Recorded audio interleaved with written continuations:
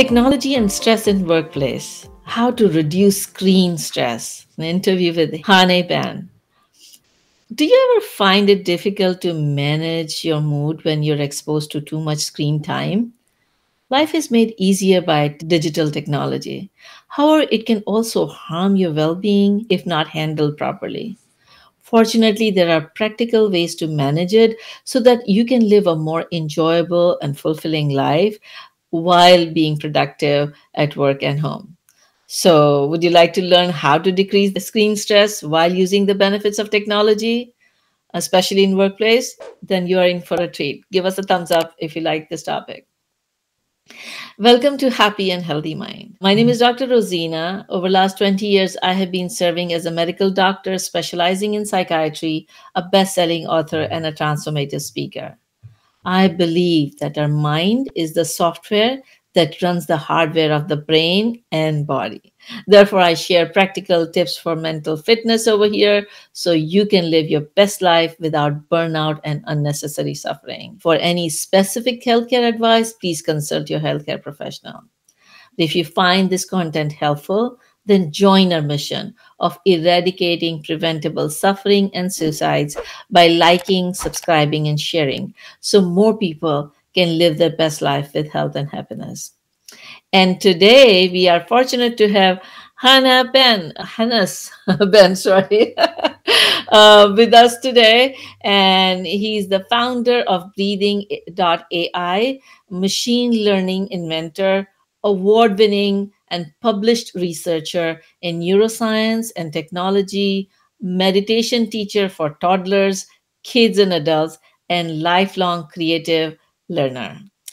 He, he overcame years of anxiety and depression using some of these techniques that he's going to teach us today. So, thank you so much for joining us today. Thank you so much for having me. I'm really excited. Yes, I'm so excited too. Tell me, Hannes, how did this topic become important for you? How was like how was your life before it became important? Yeah, I that's a it's tough to remember. Um, it was I was really for many many years I had so much severe anxiety and depression. I felt very disconnected. That was the main thing. I was really felt like helpless almost to do anything about it.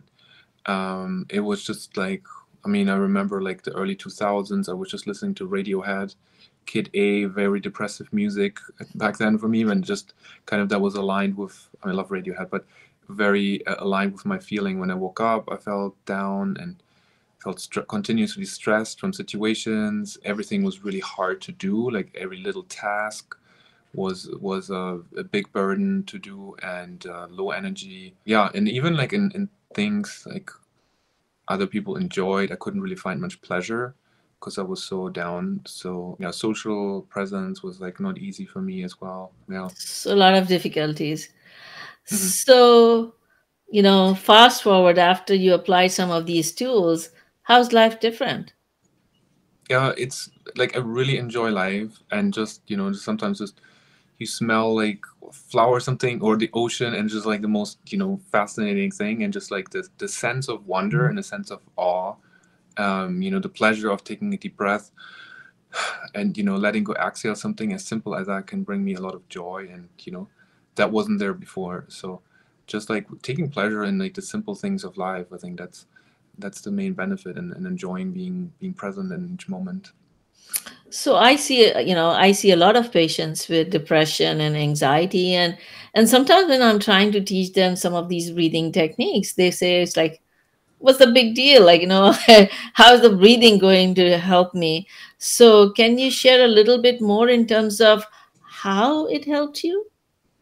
Yeah i think what, what like it helped me feel more embodied and present in my own body and there's also like a thing called interoception um, so we can be aware of our you know organs of our breathing and it's, it's a real like sense i feel like. And uh, and it's really underestimated how much presence that creates. And um, so so right now being aware of you know like am i tense? Can i relax my shoulders? Can i bring awareness to my breathing instead of being distracted by by thoughts or so? I think when i was depressed that was awesome oftentimes i was thinking about stuff that was not helpful in the moment oftentimes it was like fearful situations or things I generally like have to do, and it was like overwhelming me. So right now, when I bring my, of course I have that still, but right now I, I bring my um, awareness back to you know, taking a deep breath, letting go, exhale, and being present, relaxing my body, and sometimes then all of a sudden it's like a reset button, and it helps me just to be then enjoy life again. Okay, so like when you breathe, you feel a little calmer in the moment, but how does it solve your problems? Yeah, I think there's even studies on sighing. I just read it again earlier today uh, from the UCLA in 2016 that just a simple sigh creates twice as much air flowing in. So it's in it really they describe it also as like a relief, as a reset button.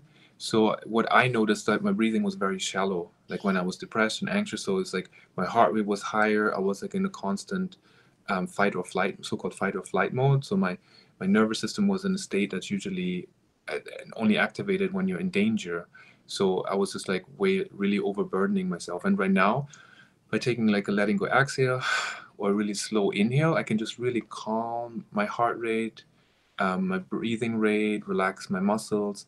So my whole body is in a state of tranquility more and like notices like, ah, you know, like I don't have to be in alert mode. I can just be in presence mode and then mm-hmm. kind of like in awe mode. Wonderful. So, how does technology stress and screen stress become important in your mm-hmm. life? I just wanted to share the practices. So I I got into neuroscience actually with a project and uh, computer science 2014 with a project called Metaverses. Now mm-hmm. the term is also used by big tech companies. And we studied meditation practices to see like what what are the most helpful ones mm-hmm. and and visual stimuli. And then also we, we combined it. So how can we actually create more calming screen experiences? because people are already so much on their screen. Um, right. And right. Uh, and then so does does the screen cause stress? I would say yes, because I do believe that um, the technologies we're using are disconnected from our well-being.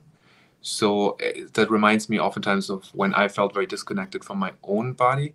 Um, so I think the technologies we're using, they're not recognizing how we're feeling or stress levels and so we can actually make the screen time the screens more adaptive to our well-being and that's what i'm really um, excited about and working on because i think we have too much screen time and to improve that screen time we have is really what i'm invested in right yeah. Because a lot of times when they, people talk about screen stress the only solution is decrease the stress uh, screen time. Well yeah you want to decrease stress uh, screen time and you want to have like you know more physical activity and stuff which is you know everybody knows about it. But on the other hand you know there's the demand of the day especially with covid there was so much more need for the screen to be connected to be able to work to be able to do the schooling. So everybody had to be on screen. And that was kind of our savior in a way. But then there is this flip side of it that too much of screen is not good for your eyes or not for your mind and not for your body. Yeah we really need to develop uh, tools to utilize the benefit of this technology without causing harmful effect on our health and so yeah we would just love to learn our audience would love to learn some of the tools that we could use to help. I, I would like to ask the audience at this time if if you guys can please share how much how many hours a day do you spend on screen uh, whether for work or for recreation? And while people are entering the answer you tell me how much time do you spend on screen no, it's way too much. no, don't ask me.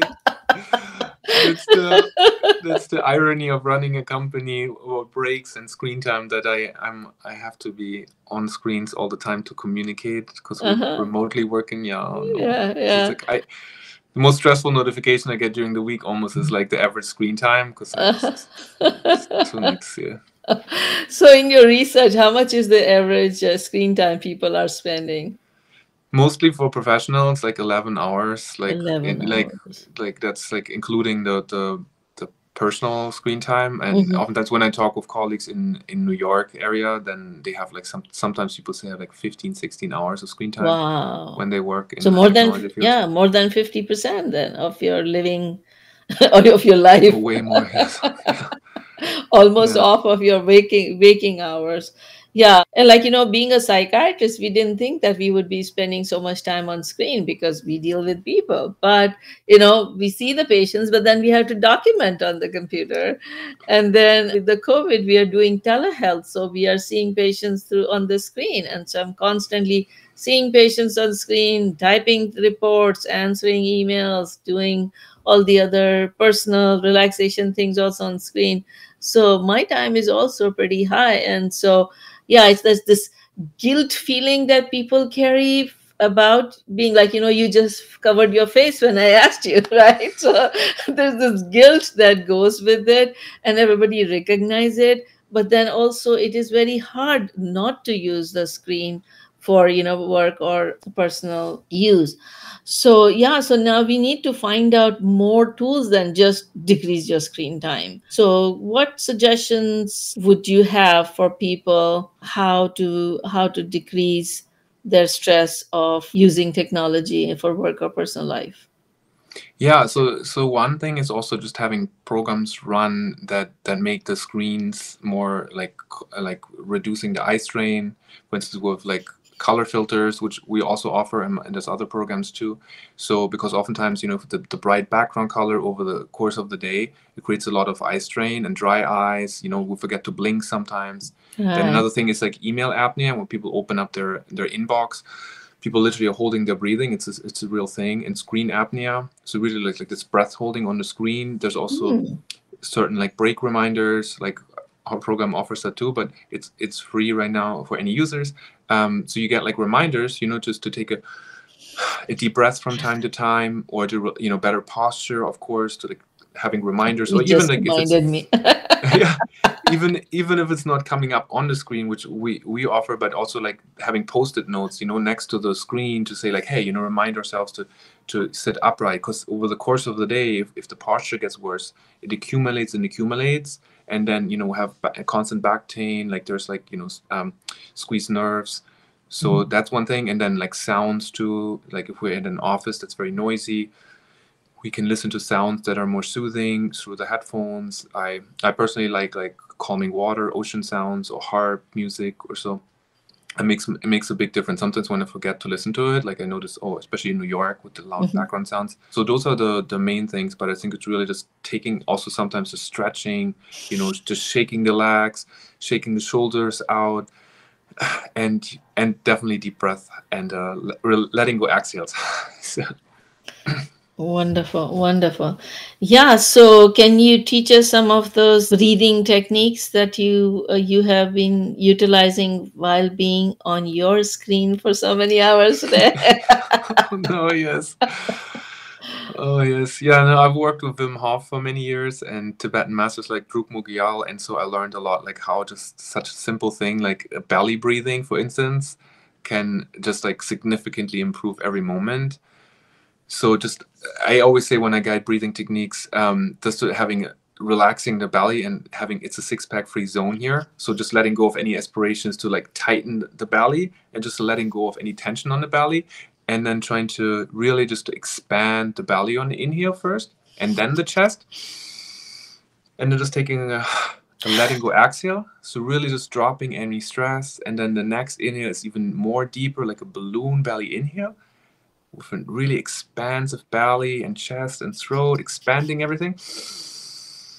And then again, just a letting go exhale, dropping the shoulders, maybe another deep inhale, moving the shoulders all the way up to the ears. And then a letting go exhale, just dropping then, maybe also closing the eyes and just resenting ourselves by focusing on our breathing. Just away from all thoughts, from our visuals, just bringing awareness to our breathing and expanding our belly, our chest, our throat, our whole body like a balloon with a smile. And then just a letting go exhale, dropping any stress. And there's really a lot of studies on like adding a smile, for instance, so create so-called happy hormones. Um, there's smile and laughter yoga. There's also like relaxing our shoulders helps. A letting go exhale, just something like letting go exhale creates twice as much air flowing in That's a study from UCLA. And then there's like a really deep belly inhale combined with a letting go exhale and a smile.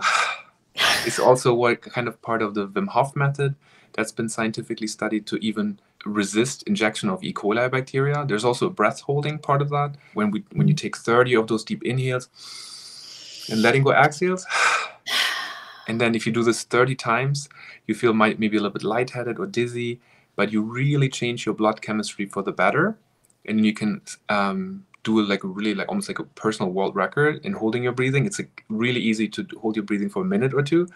And one simple trick is always like adding a smile. So when you do this, like when you're sitting at your office and you feel very stressed, it's like, oh wait, maybe I can close my my eyes for a deep inhale, with a smile, and just a letting go exhale.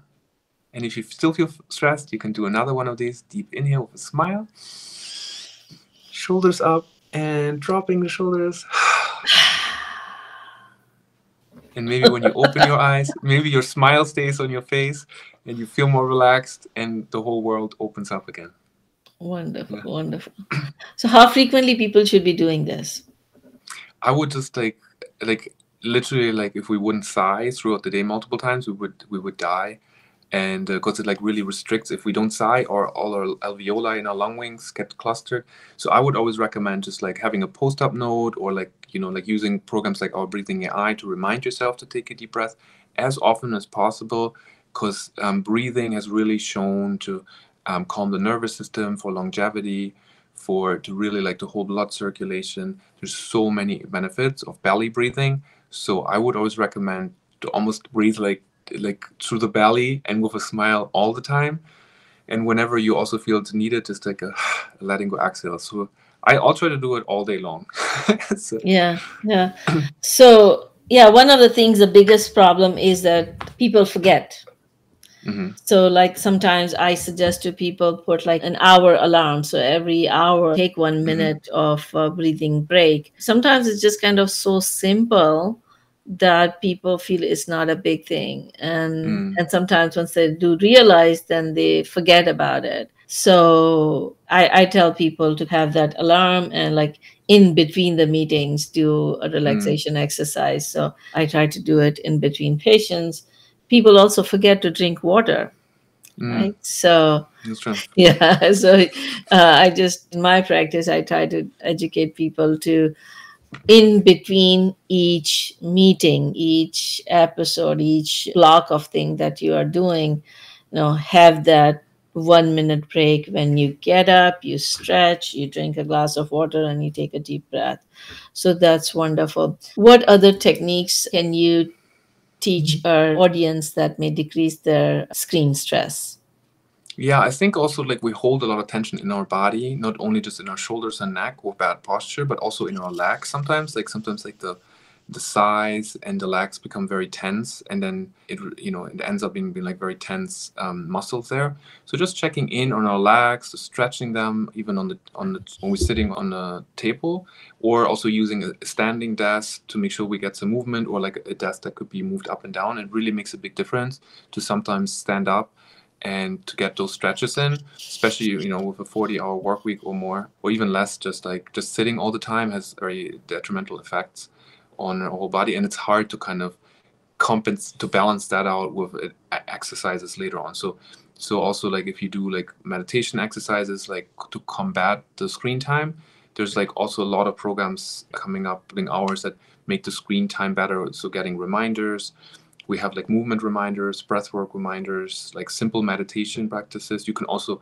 move your eyes, for instance, to, to remind yourself to blink. Sometimes we forget to blink, and then the eyes get very dry and eye strain It's a huge problem. Mm. Um, color filters help, but also just sometimes to look from left to right, focus on something for 20 seconds. There's the 2020 rule, 20 20 20 rule to focus on things. Um, what is the 20 20 20 rule? I don't know about it.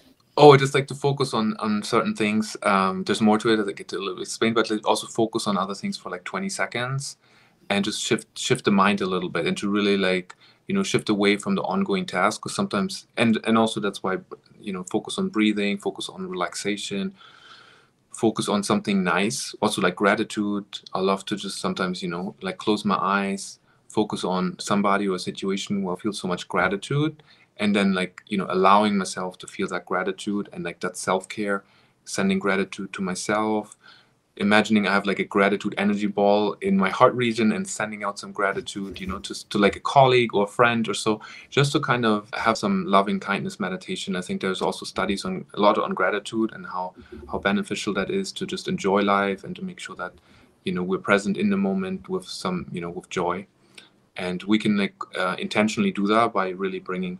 Um, bringing gratitude in our life by focusing on gratitude and in certain situations where we feel feel just more alive and, yeah. and appreciated and taken care of yeah yeah gratitude is has played a big role in my life that's why i talk about i have published a guided gratitude journal it's called stress to joy guided gratitude journal. And based on kind of my practices that have developed over years of so mm-hmm. every day my day starts with a gratitude journal.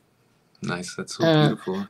what you are teaching is that throughout the day when you are on screen either you get some software like this that reminds you or set up your own system where you are doing mm-hmm. these things scattered through the day. That includes let's kind of uh, summarize for people. So you talked about breathing techniques. So you mm-hmm. breathe mm-hmm. deeply. You talked about focusing on your legs. So stretch your legs. Mm-hmm. You talked about uh, raising the shoulder and clearing the tension from your shoulder. Then you talked about gratitude uh, like you know sending the what what did you say the ball of gratitude towards yeah how do you do that yeah just like imagine yourself you have like an energy ball like a or fire in your uh-huh. heart region uh-huh. and with like i always like we just visualize it in in the meditation practice you just visualize that you can like bring energy to it with a deep inhale uh-huh and then like a like a superhero you can send it out like a laser beam from your heart region on a letting go axial. Uh-huh. and you can also send it through your own body so uh, uh-huh. uh, or, or superhero. So um, just making sure that you know you you hone in on your own superpowers of deep breathing relaxing and you know making sure that your heart is nourished. Wonderful wonderful. Yeah i had not heard about that. So okay so sending the fireball of energy like superhero. You can be superhero of your life or superhero of your friends lives where you can send them loving kindness towards them and that could also help. And do you think people should still try to reduce the screen time? Yes and but i also think what we've noticed what we notice actually when people well in our case they, they use our program like and color filters but there's other color filters too or other like break reminders and stuff but they actually reduce their stress symptoms by 50% they were also had a better relationship with felt they had a better relationship with technology and they had less screen time. So significantly like i think almost like 20% less screen time. So they they were probably more productive. They were less distracted. They had to probably use less social media. We we had didn't have that in the questionnaire. You know they probably use less distraction of social media which oftentimes used when people get stressed. So they distract themselves. So being more productive on the screen without having more screen time actually having less screen time and having less stress, stress symptoms. So I think like I would recommend anybody to try that out or post-it notes or other programs to make that screen time we have more relaxing and then seeing mm-hmm. actually what happens. because um, it's so much light, there's so much static, and we always have to adapt to the screen times. That's that's always the one thing that comes to my mind. Like our nervous system has to adapt to the technologies. We never really look somebody truly in the eyes. Mm-hmm. We always look in the camera so there's like a lot of disconnect from reality and actually how can we make that more adaptive or at least make sure that we are taking care of ourselves while we're on the screen? Wonderful wonderful. So if people want to learn more about you how can they find more information about you? Yeah on our website breathing.ai my email is hannes at breathing.ai I'm also on Instagram. I have a meetup group. I'm on LinkedIn and always happy to chat. Sometimes I guide um, breathing sessions through Meetup too or on Instagram or so. Always happy to. So a lot, of times I collaborate with other practitioners. So we have like um, joint sessions and uh, yeah. Wonderful. And so I want to you want to share how people can get the free download of your program. Yes, it's on our website. Um, there's a try for free button. It's still for free, so it's soon it's gonna be like more comprehensive with additional features and a subscription. So, but you can download it for free and try it out. And would love to get your feedback. If you like it, please leave a review. Um, it's on the Chrome store, so it runs on Chrome browsers, on Opera and Microsoft Edge, and uh, Brave, so and a few more soon. Wonderful, wonderful. Yeah, and then thank you for offering the gift that you are going to share with us, the PDF of different breathing techniques that you guys have utilized in this program that you have developed. And as always, any of you who wants to get this download, you can go to the website name is just happyandhealthymind.com and there's a resource button that you can click to download all the resources that have been shared by different guests in our programs. And if you are in us and you would like to get the text for reminders for future programs you can you can text the word joyful to the number 38470 and we'd be happy to send you the reminders and resources link. All right so thank you so much for joining us today. Let me leave you with this question. Today is the first day of the rest of your life. You have learned some techniques today. What are you going to do? Are you going to just let it go from one year to the other? Or you're going to start practicing at least one technique starting today?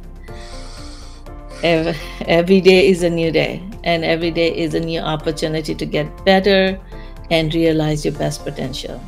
So live your life fully on that note, stay safe, happy, and healthy. Till next time, Dr. Rozina.